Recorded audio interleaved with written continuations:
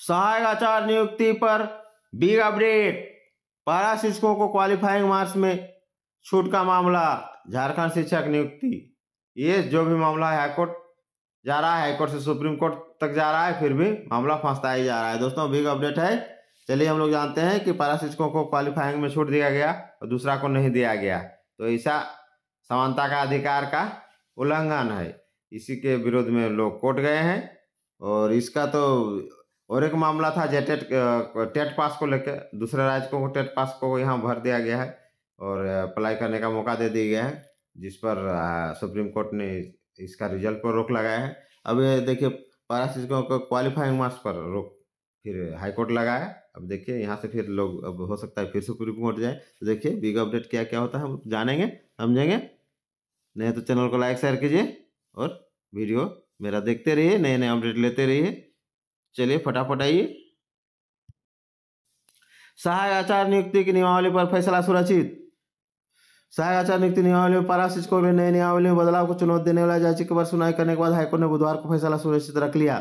सुनवाई के दौरान प्रार्थी कृष्णचंद्र हलदार व अन्य की ओर से नई नियमावली को चुनौती देने वाले अर्जी पर प्रार्थियों को पक्ष रखते हुए अधिवक्ता शुभम मिश्रा, कुमार पवन और शिवम उत्कर्ष सहाय ने कोर्ट को चताया बताया कि सरकार ने सहायक आचार प्रोन्नति नियमावली 2022 में संशोधन करते हुए वर्ष 2024 में नई नियमावली बनाई है।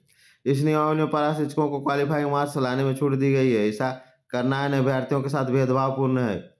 पूर्व की नियमावली में सभी को तीस प्रतिशत क्वालिफाइंग मार्क्स लाने के बाद ही अन्य विषयों के उत्तर पुस्तिका जाँच करने की बात थी। नई नियमावली में उन्हें क्वालिफाइंग मार्क्स लाने की बाध्यता को शिथिल कर दिया गया। मतलब वो नहीं लाए, फिर भी उनका कॉपी जाँच होगा टीचर बनेंगे। एक अन्य मामले में सुप्रीम कोर्ट ने भी रिज़ल्ट पर रोक लगाई। देखिए, सुप्रीम कोर्ट ने क्या रोक लगाई?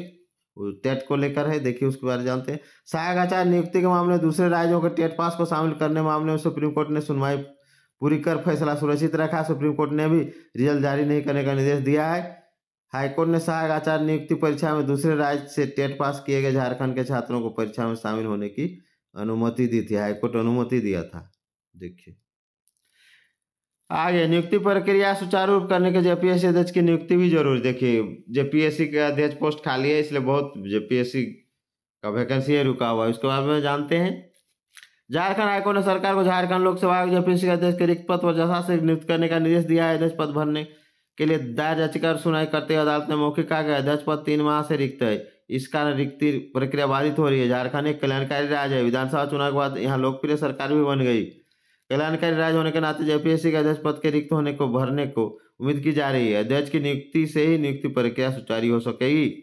प्रार्थी की ओर से अधिवक्ता अमृतांश वत्स ने अदालत को बताया कि तीन माह से अधिक समय जेपीएससी का अध्यक्ष रिक्त है जेपीएससी की ग्यारहवीं और तेरहवीं सिविल सेवा की मुख्य परीक्षा जून में ली गई थी।